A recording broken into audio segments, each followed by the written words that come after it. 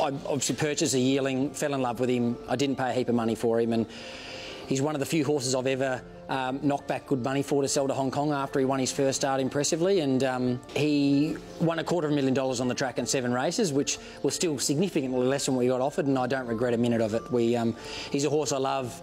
He, he's given me a great deal of enjoyment right through his racing career, and uh, not only is he going to do that, but he's going to go on and um, give Jade and Ella a great deal of enjoyment off the track.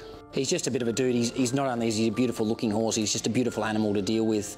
Um, he's a big, strong, you know, big, strong horse, but you'll see him with her, he's just so kind and, and gentle as well. For a, for a big, strong horse, if, if, if I were to go and take him out to his yard or paddock, he'd, he'd let you know that he's on the end of the lead, whereas when Ella's around, he's, he's beautiful and docile. There's no doubt thoroughbreds know um, when they're dealing with little kids, you see it day in, day out. They're just such beautiful, kind horses, which what makes them such great off the track um, competitors.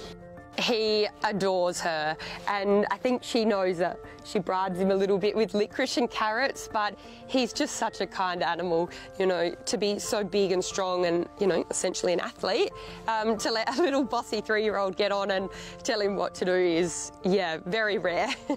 It's no secret that I love going to Oakbank. Uh, I grew up there as uh, going there as a kid and, and, watching a great old horse of my dad's friends, or Rom, compete so well in the Oakbank Cup there every year. And it's a race that I always wanted to win. Uh, we're lucky enough to win the sprint last year with Taunting, and, and, and but winning the Cup, although it's not a listed race anymore, that gave me the hugest joy. Uh, the finances aside, I'd, I'd, have been happy to win it and not get a cent for it, and to have Ella there and, and a lot of my friends and family there on the day was was just a massive thrill.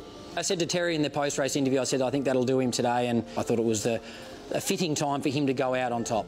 No, look, he, will he'll, he'll be here forever and he'll, he'll take his last breath on this farm.